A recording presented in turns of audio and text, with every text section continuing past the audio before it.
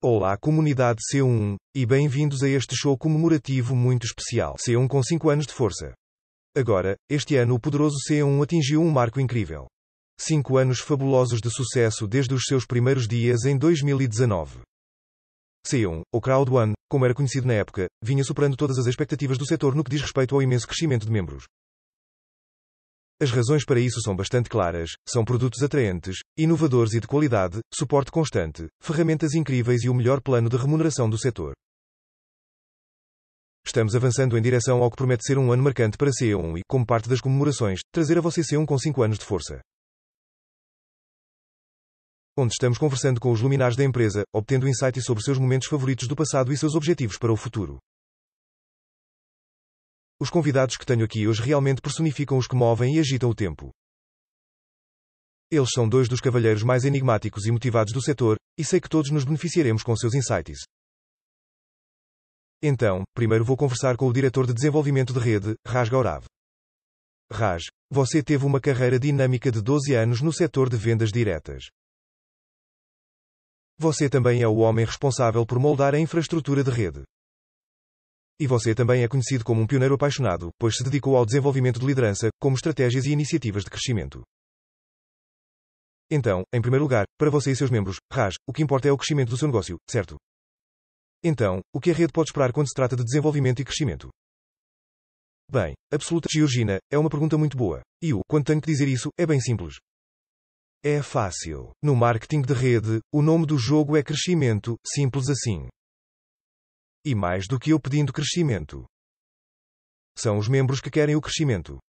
Sim. E se você olhar a partir da estrutura corporativa, temos 3 ES que seguimos, exploramos, experimentamos, experimentamos e 3 ES que a rede que os membros seguem para obter ganhos iniciais fáceis. Então está tudo focado em um aspecto de crescimento muito forte, seja para nós como corporativo ou para a rede.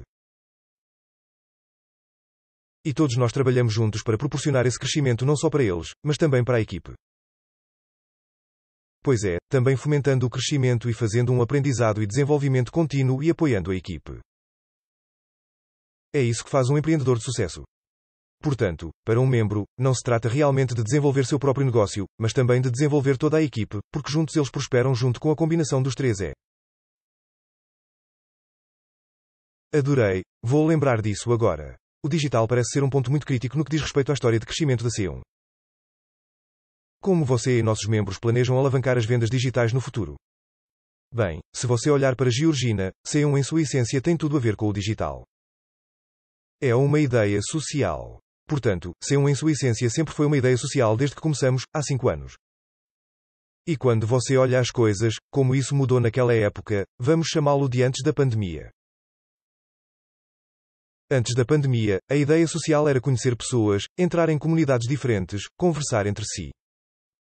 Mas depois da pandemia, quando as pessoas conheciam suas habilidades e iriam emitir e-mail que retificaram isso e começaram a crescer e se desenvolver mais, no final das contas, tudo se resumia online em reuniões Zoom.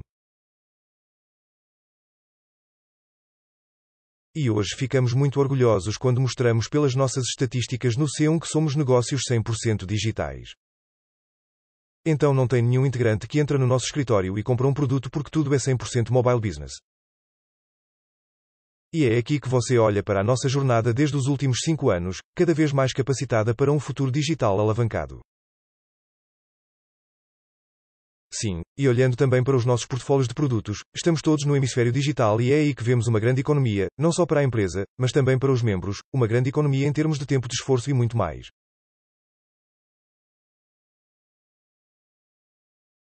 Sim. Agora, acho que com a pandemia, você poderia realmente aprender com ela e tirar proveito dela e realmente se destacar e progredir em tudo o que quiser fazer, colocando as coisas online.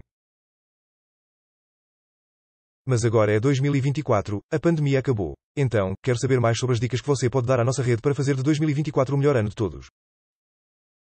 Bem, Posso garantir uma coisa, Georgina e nós da C1 estamos investindo pesadamente em nossa infraestrutura digital, o que basicamente significa que para nossa rede, isso vai ser algo muito, muito forte para que eles continuem neste ano de 2024 em um ritmo muito grande e com maior rentabilidade.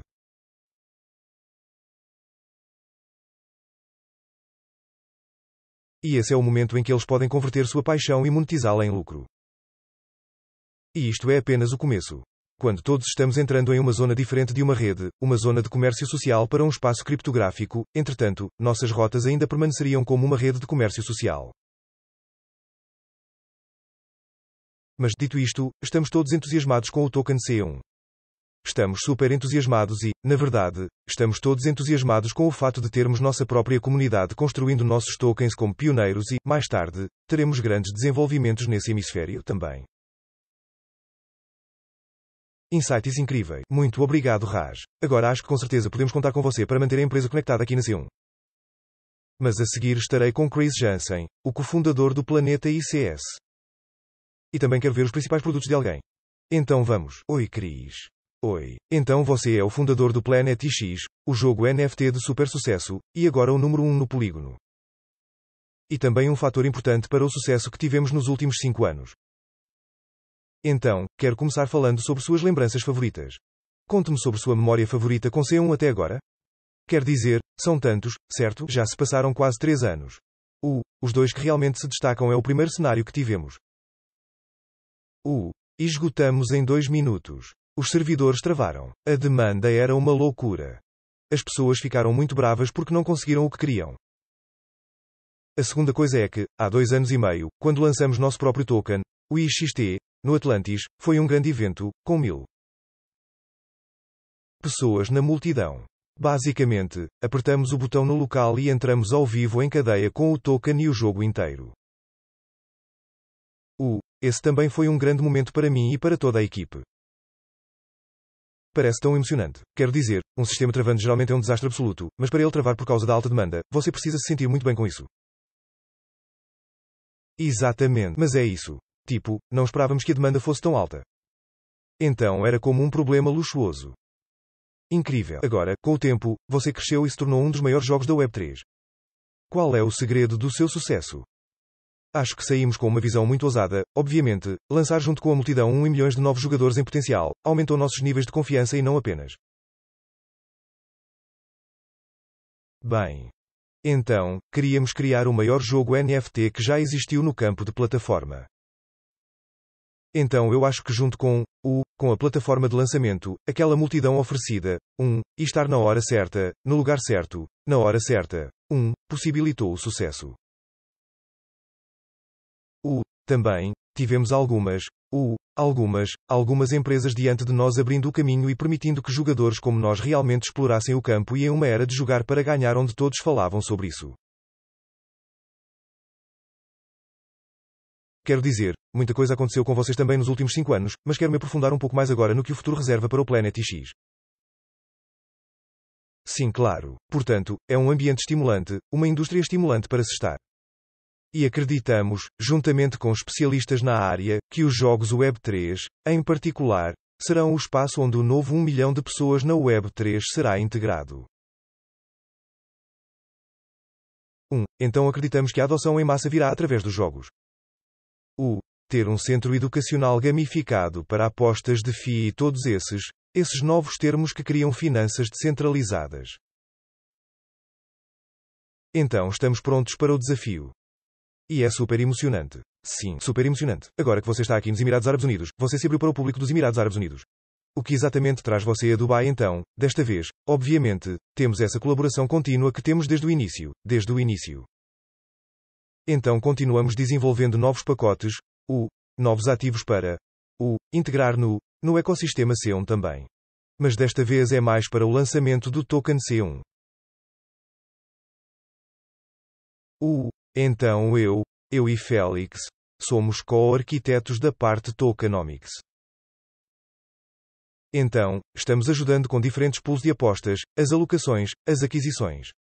O, se houvesse um eclipse, Nerdy fala, mas gostaria de ter uma visão geral da parte tokenomics. O, quero dizer, qualquer empresa, qualquer projeto pode lançar um token amanhã. Essa não é a parte difícil. A dificuldade é torná-lo sustentável a longo prazo, incluído em todos os aspectos e áreas do ecossistema existente, mas também fazê-lo funcionar para o futuro. E construir com uma visão de longo prazo. Então, então é nisso que estamos ajudando aqui. O, sou só eu desta vez. Mas quero dizer, é isso que estamos fazendo há três anos. No Planet X já estivemos, temos mais de 80 contratos inteligentes. Contratos inteligentes. Temos 10 pools de apostas diferentes. Temos tratado de todas as doenças AB ou dos pequenos problemas que você tem. Eu não o chamaria de grandes erros, mas você aprende à medida que avança. Portanto, essa experiência e, em última análise, o conhecimento são algo que podemos aplicar neste lançamento do Talk Token. Bem, você definitivamente está na melhor cidade para progredir. Sim, é outra coisa que eu estava esquiando na Suécia antes disso.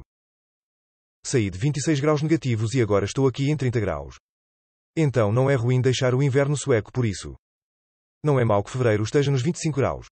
Certo, exatamente. Isso é perfeito. Agora, você acabou de mencionar a colaboração massiva. Quero saber um pouco mais sobre por que você é adequado para esta colaboração. Sim, ótima pergunta. Quero dizer, já fazemos isso há alguns anos. Conhecemos o público. Nós os conhecemos pessoalmente. Muitos deles. Já integramos 100 mil novos usuários da multidão na Web3 e aprendemos sobre eles, os fundamentos e todas essas novas terminologias. Então já conhecemos a multidão. Cometemos alguns erros ao longo do caminho, obviamente, enquanto você faz isso. Portanto, acho que esses dois parâmetros juntos são a sobreposição perfeita para ajudar a ver um com o lançamento bem sucedido de um novo token. Sim, erros sempre acontecem quando se trata de negócios e você só precisa se recompor, seguir em frente e aprender com seus erros, certo? Sim, quero falar sobre o novo token. Agora, o que você pode nos contar sobre o novo token? É sobre o que? Eu recebo essa pergunta todos os dias. As pessoas estão super animadas com o lançamento.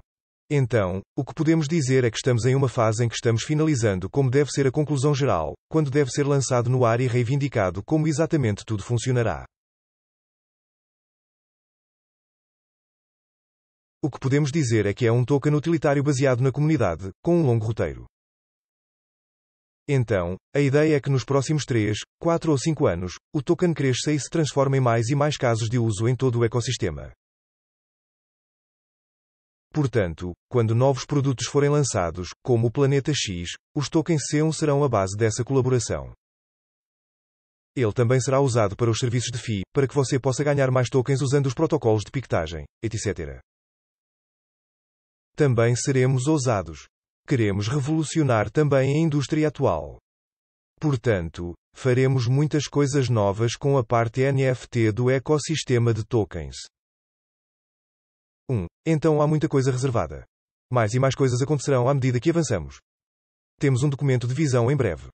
1. Papel leve e papel branco também virão. Então é um momento emocionante para a multidão. Posso, posso te dizer isso. Definitivamente parece isso. Bem, Chris, muito obrigado por compartilhar a história do seu planeta, seus planos futuros e muito sobre o token e também sua colaboração com C1. Uma sessão tão revigorante com Chris, e estamos ansiosos por mais colaborações incríveis com ele também. Vamos.